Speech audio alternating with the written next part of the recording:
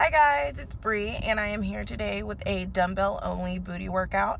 I just arrived at the gym and I was like, I was thinking about this yesterday, but when I got here, I'm like, I'm officially gonna do this. So this workout is gonna be challenging yet easy to do at home and even at the gym. So you're gonna be able to use this in a variety of places. So I know a lot of people don't have a gym membership. So I was just like, okay, um, well, dumbbells are pretty easy to get. You can buy them at Target, you can buy them at Walmart, you can get them even at CVS, I'm sure. And they have a store over here that um, you can get them at called Five and Below. So I'm like, you know what? I'm just going to do a dumbbell only booty workout. So I'm going to showcase five dumbbell only moves in this video to get that booty tight and lift it. Um, and that's all, that's what everybody wants for the summer, of course. I mean, that's what I want and that's what most people I speak to want and that's what the whole YouTube community wants. So I hope you guys enjoy this video and it starts now.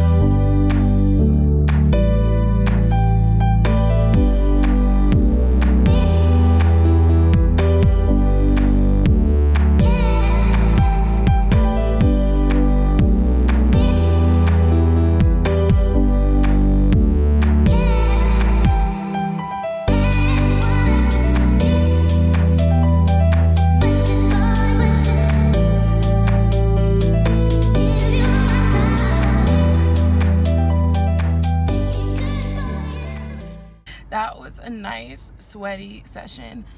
Like the dumbbell booty workouts that i put in there that was only a, a small part of my workout. However you could do um, i know there's five exercises that i filmed but you could do um, uh, like three sets of each exercise, like three sets of like what 12 to 15 of each exercise. If you're looking to tone, if you're looking for strength, you probably want to increase the weight a little bit. I was um, for the goblet squat and the hip thrust or the glute bridge.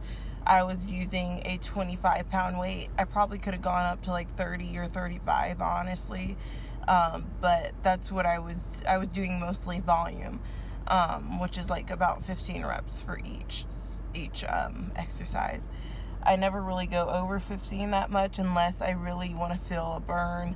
However, burn is not going to grow your glutes. I'm just saying it's going to tone them, but it's not going to grow them in size. If you guys want um, to actually grow your glutes in size, I would recommend just doing compound exercises and then you could do some accessory exercises like the ones I showed you here on the side. However, I do two days out of the week where I deadlift or squat. I'll do one day maybe squat and then another day heavy deadlifts. And that has been what really changed my um, glutes and my legs. That really changed them a whole lot. Gave me more definition and made me firmer.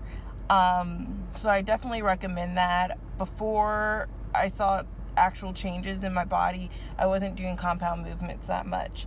And now that I added them in since the beginning of the year, it's been showing pretty well, I think. So I hope you guys enjoyed this video. It was a pretty short one.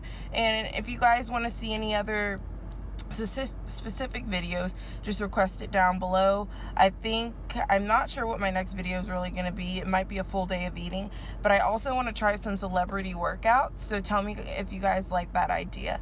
So thank you all for watching and see ya.